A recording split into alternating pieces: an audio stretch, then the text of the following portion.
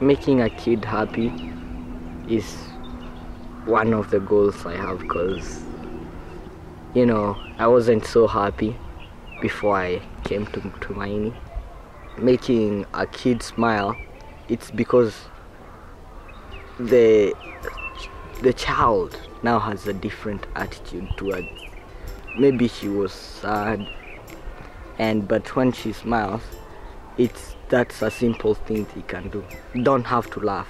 They can laugh but smiling it's, it shows that they have changed their attitude and the kid just love it. Yes but you see when they come here this is a refuge for them. And so uh, they are able to find uh, love here. They're able to find people who are concerned with them. And what makes me happy is when i find that uh, a child comes here and we are able to change that child positively. My mother was working in selling beer.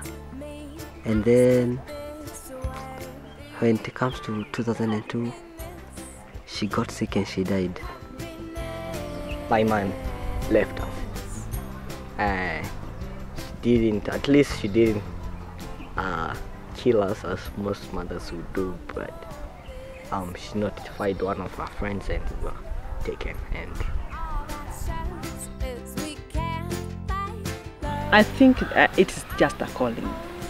From long time I had this urge to start up a, a place where I could take care of children. And I was imagining that these are children like I was and they have nobody to lean to. And I was there, available.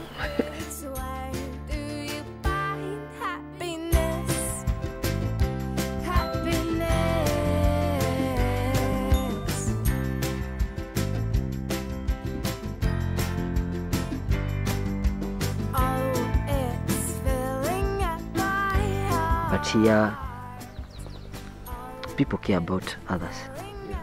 And i really love them because actually they care for me.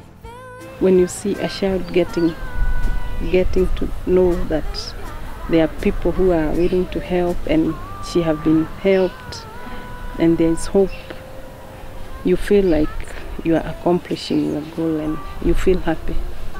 Because it's past and i'm past past that point because i passed it i say it was the will of god because there's a chance if that didn't happen then I wouldn't be in a place like here where I would see children every day.